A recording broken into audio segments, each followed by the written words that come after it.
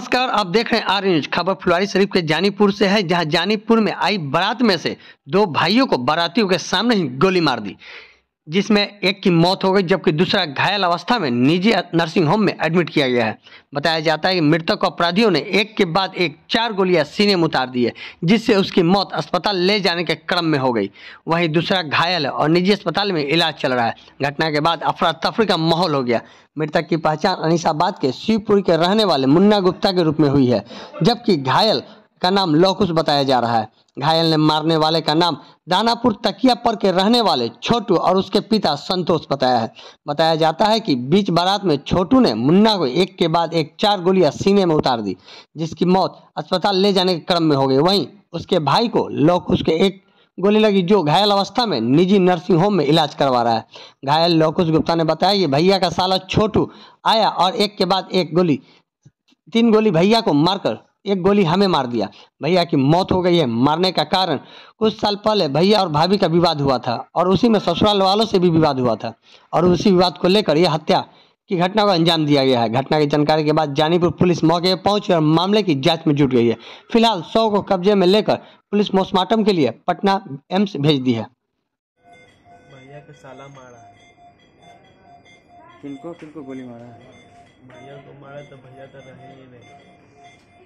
आपको आपको कितने गोली मारा? हमको एक गोली मारा। कौन थे मारने वाले? भैया के साला मारा। कहाँ के रहने वाले?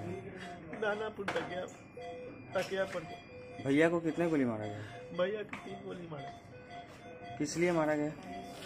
आठ साल पहले के बातचीत का खाली विवाद था बस।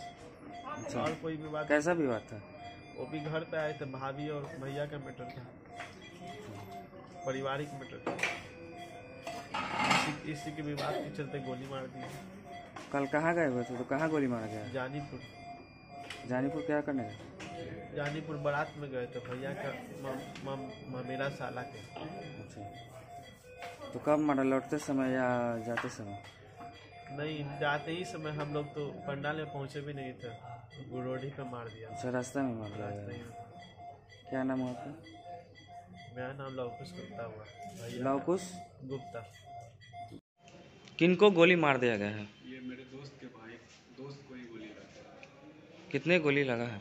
गोली लगा मतलब दोस्त को दो लगा और उनके भाई को तीन से चार गोली लगा और ये मतलब पूरा प्लानिंग करके मारा गया अच्छा। पूरा प्रॉपर सोचा हुआ सोच सोच समझ के ये साजिश बनाया गया ये काफ़ी अघन्य अपराध क्योंकि बात कुछ नहीं है लेकिन बात को बढ़ाया बहुत गया है। इसमें बहुत सारे लोग मिलजुल के एक तरह से प्लान किया गया है। दस साल का दुश्मनी आज दो सोने दोनों भाई को गोली मार दिया गया है। तो दोनों का भी हालत क्या है?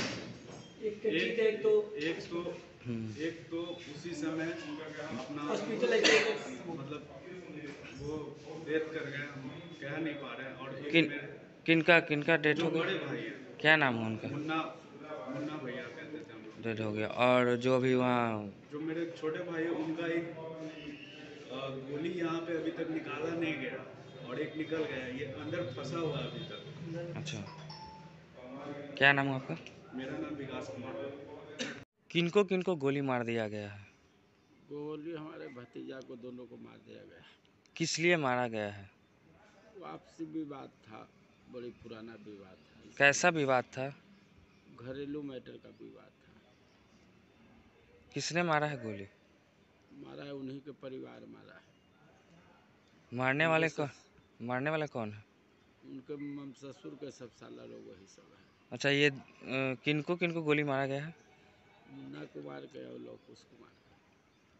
सुने का डेथ भी हो गया है कल। हाँ रात में एक बजे डेट कर गए मुन्ना कुमार। उनको क्या गोली मारा गया है? एक गोली तो डॉक्टर अब बता रहा है तो देखे हम लोग नहीं है। अच्छा। और ये लवकुश को भी मारा गया है? हाँ उसका कंधा पर एक गोली लगा हुआ है। वो तो उसका भी स्थिति कैसा है? स्थिति उसका ठीक है।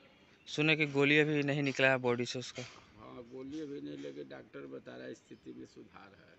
सुधार है। कहाँ के रहने वाले हैं लवकुश? चिटकोहरा के रहने वाले चिटकोहरा कहाँ शिवपुरी। शिवपुरी। निशाबाद शिवपुरी। एक का डेथ हो गया और एक अभी घायल है। हाँ घायल है। मतलब कैसा विवाद था उनका पहले से? घरेलू आपसी विवाद था कोई विवाद नहीं तो ये लोग कहाँ गए हुए थे? थे।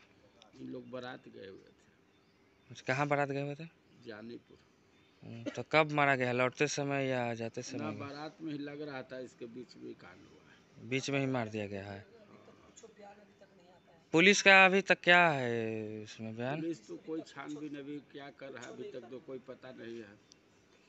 अभी तो कोई जानकारी हमको नहीं है। अभी तक कुछ पुलिस आई थी इस टाइम हाँ पुलिस एक बजे रात में आई थी। अभी सुबह में?